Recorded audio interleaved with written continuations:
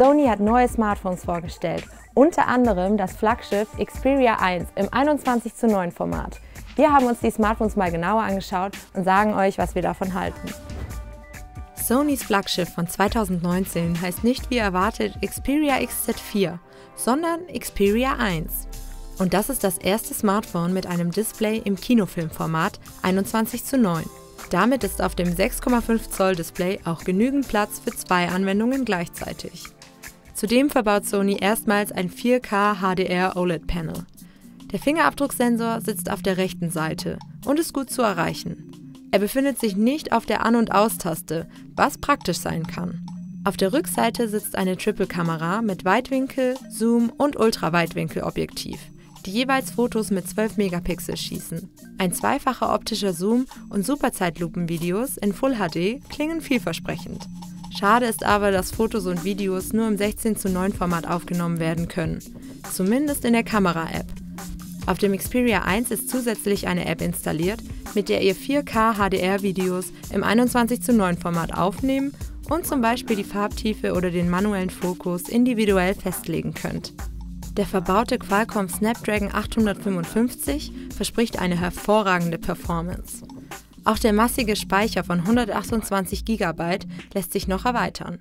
Alternativ findet eine zweite SIM-Karte Platz im Slot. Das Xperia 1 wird erst ab Juni erhältlich sein. Für satte rund 950 Euro. Sony erweitert auch sein Mittelklasse-Sortiment um zwei neue Geräte. Das Xperia 10 mit einem 6 Zoll Display und sein großer Bruder Xperia 10 Plus mit einem 6,5 Zoll Display.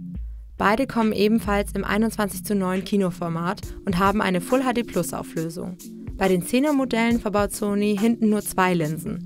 Vorne sitzt jeweils eine 8 Megapixel Frontkamera. Im Gegensatz zum Xperia 1 können die Modelle sogar mit der Kamera-App Fotos und Videos im 21 zu 9 Format aufnehmen. Prozessor und Akku sind beim Xperia 10 ausreichend. Beim großen Bruder steckt sogar noch mehr Power drin. Auch der 64 GB große Speicher lässt sich bei beiden Geräten erweitern. Das Xperia 10 und 10 Plus sind als Dual-SIM-Variante mit Android Pie für rund 350 bzw. 430 Euro erhältlich. Auch die Einsteigerklasse von Sony bekommt mit dem Xperia L3 Zuwachs. Das LC-Display ist mit 5,7 Zoll nicht nur kleiner, sondern hat auch eine geringere HD-Plus-Auflösung. Dafür fällt auch der Preis mit 200 Euro kleiner aus. Auf der Rückseite sitzt eine Dualkamera mit 13 und 2 Megapixel. Die Frontkamera knipst mit 8 Megapixel.